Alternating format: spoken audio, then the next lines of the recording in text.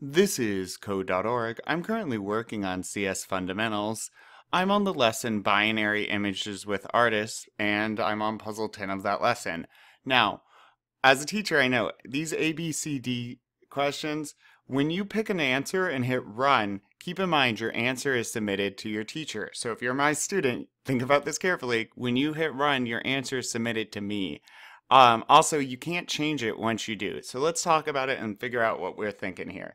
Take a close look at the code below. Which image will it create after you click run?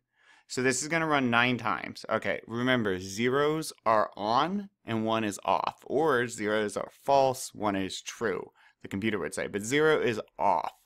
Okay, so dark would be off.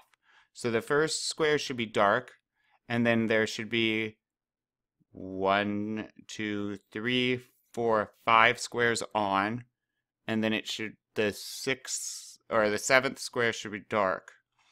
Let's see, one, two, three, four, five, six, seven, eight. One, two, three, four, five, six, seven. Oh, that's tricky. Okay, so this doesn't quite make it all the way across. I do know that this first block will be dark, okay, because zero. Then what will be next? Well, this block should be on, and so should the next five. So on, on, on, on, and on. Then this block should be dark. And then we're going to restart. We hit the bottom of our loop, zoop, go back around. So this was dark. Now we have another zero because we've restarted this number. So now both of these should be dark, right? Because we're restarting. If both of these are dark, if that's dark, now we're restarting. So now let's go through the five ones again. One, one, one, one, one. All of that should be on. All right, so let's pause here. I know right away, like I just said, this should be dark and these two should be dark. That can't be this.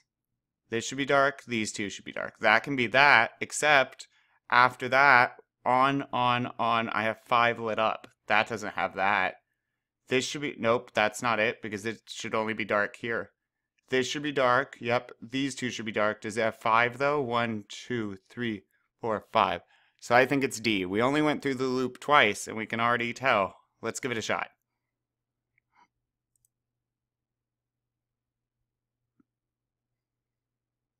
But, uh, perfect. Let's keep going.